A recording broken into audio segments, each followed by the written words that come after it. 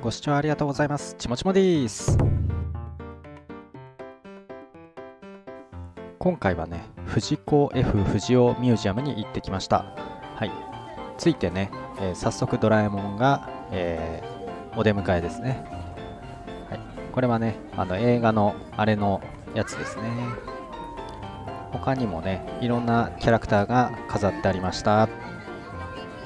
これからね中に入っていきますけど撮影ができないんでね撮影ができる場所の絵をね出します。はい。これピースケね。あとこれはどこでもドアですね。あの空が綺麗ですね。あとどら焼きは私が誕生日だったんでね買いました。美味しかったです。美男子のび太は、えー、面白いですね。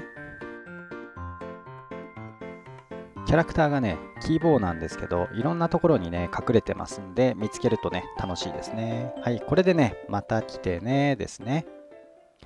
ということで、今度は生田緑地の方に移動してきました。歩いてきましたよ。あと、これはね、え青と白のバスは川崎の市営バスですね。昔からこの色です。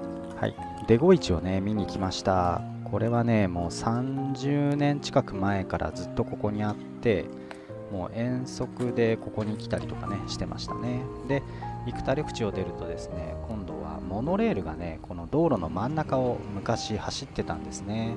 で何かね不具合があったってことで、えー、なくなっちゃいましたけどあとこの駐輪場のね上に、えー、駅があったと思います。私もねこのウルトラマンみたいな色のねモノレール乗った覚えがあります。今はねこんな風になってますね。でドラえもんのねオブジェが、えー、ありました。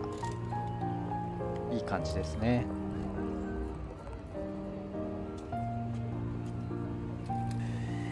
小田急線に乗ってちょっとね、えー、撮影をしてみたいと思います。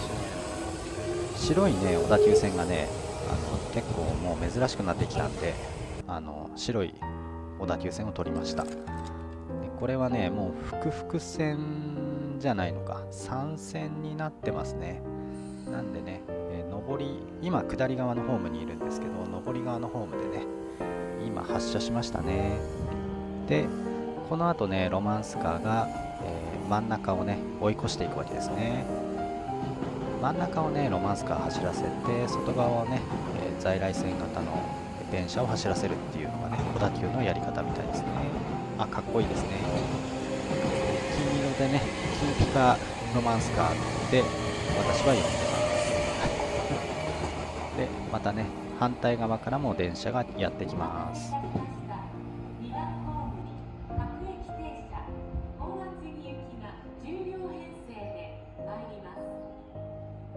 危険ですから黄色の点字ブロックの内側に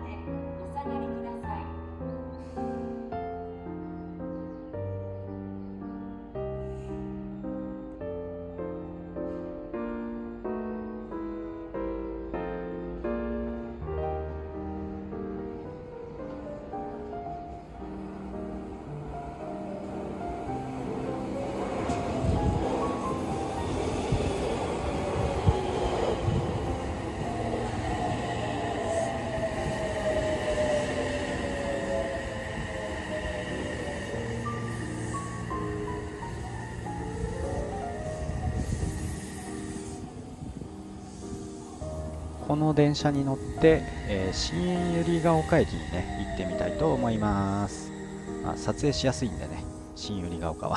はい、はい、タイミングよくね、えー、ロマンスカー来ましたね。VSE ってやつです。白いロマンスカーね。かっこいいですね。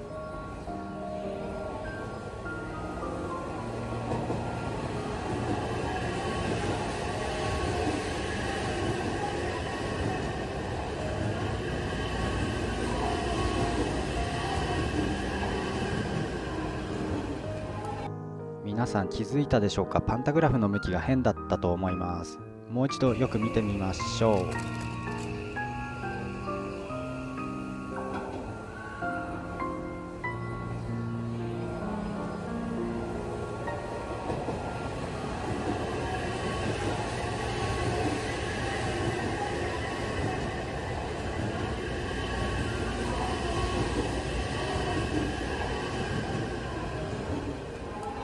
パンタグラフのね向きがね変だったの分かりましたか？はい。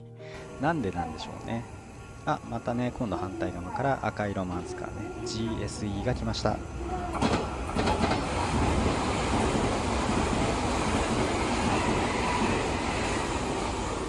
パンタグラフがね一定の方向を向いてましたよね。普通そうそうなんですけどね。白いロマンスカーだけなんかパンタグラフが変な方向を向いてます。これはね新型の小田急線ですね。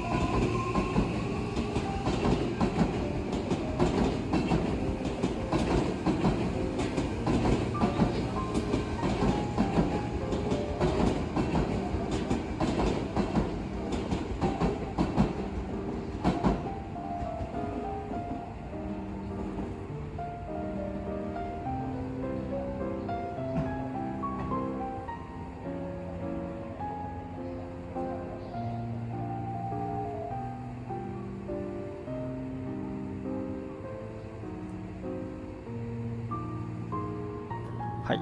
小田急線です。私はね白と青が見慣れてるんですけどね。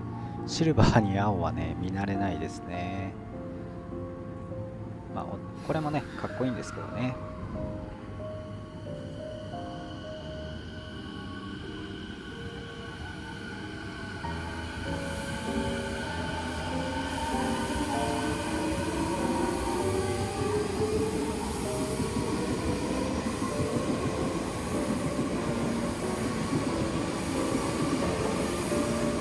ちょうど反対側から白と青のねロマ,、えー、ロマンスカーじゃないや。あの小田急線が来ました、はい、やっぱり小田急線といったらねこれですよね、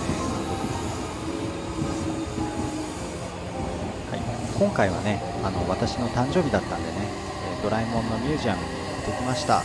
であとは小田急線をね撮影して帰ってきました。ということでね、えー、ご視聴ありがとうございました。